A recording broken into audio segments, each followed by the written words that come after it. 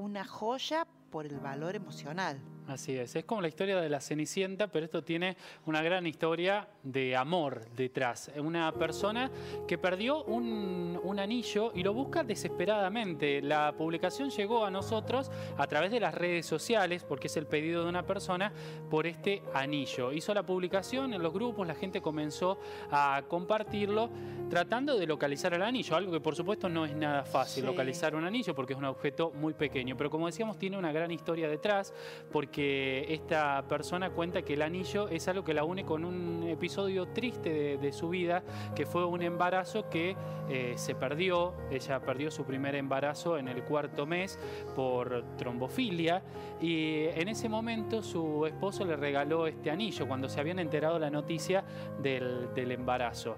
Bueno, por esta situación, tras haberlo perdido, la persona se encuentra eh, muy triste y, está tratando de buscarlo, de encontrarlo de todas sabe, las formas ¿Sabe posibles. dónde lo perdió? ¿En qué lugar? Bueno, no, lo, no sido... da a conocer los detalles en la, en la publicación, pero bueno, esto habla a veces del apego que tenemos hacia ciertos objetos porque nos permiten conectarnos Sí. con momentos de, de nuestra vida que de otra forma quizás eh, pasarían inadvertidos. Es un anillo de fantasía. Sí, es un anillo que no tiene demasiado valor económico, pero que sí lo tiene en lo simbólico. Esperemos que lo encuentre.